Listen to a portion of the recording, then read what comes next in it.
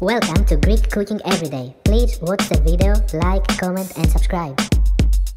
Greek cooking every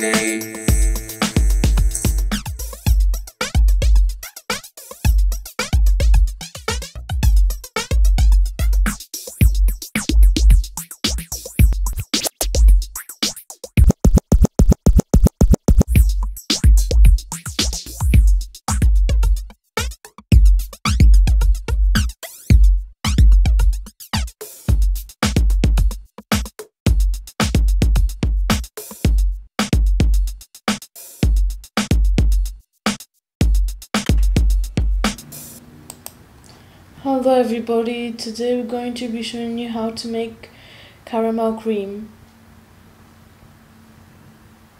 This is going to be a very easy recipe to make. Now we will get 100 milliliters of milk and add it into a mixing bowl.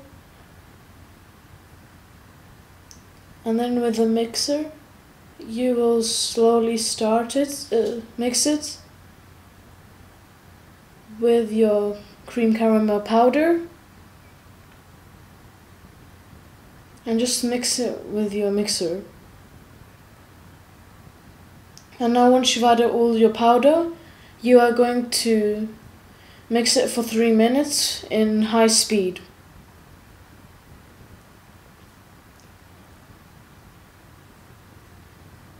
And now you can see that it is ready to be served.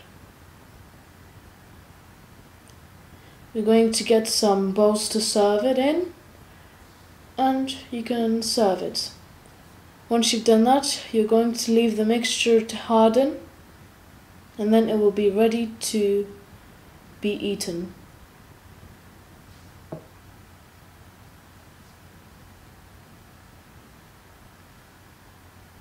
And this is it.